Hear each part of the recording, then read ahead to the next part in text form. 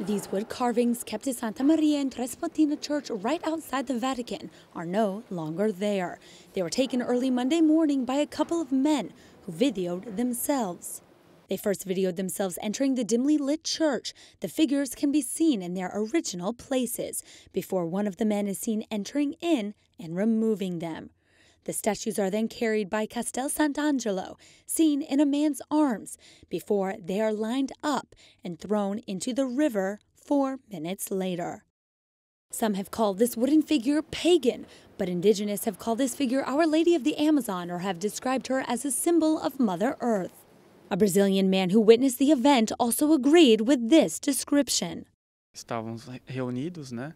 We were inside the church and three people came in dressed in work clothes. They had cameras in front. They took the statues that symbolize Mother Earth of the Amazon.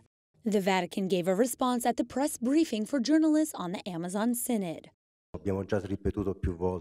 We've already said here that these statues were representing life, fertility, Mother Earth, so it's a gesture that I think, in my opinion, goes against the spirit of dialogue that should always animate everyone.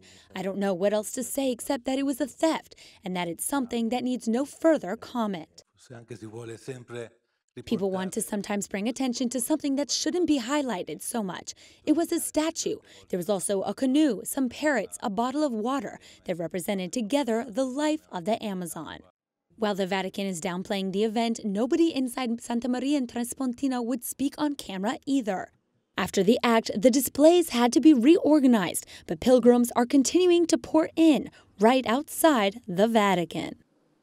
The event is still under investigation, but the head of the Indigenous exhibition confirmed with me that it is all in the hands of police right now as they're seeking to find those who are guilty.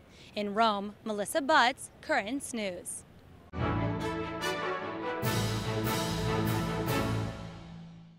If you're watching Currents News on YouTube, be sure to hit the subscribe button and then click on the bell to get instant updates about all of our newest content because we are putting your faith in the news.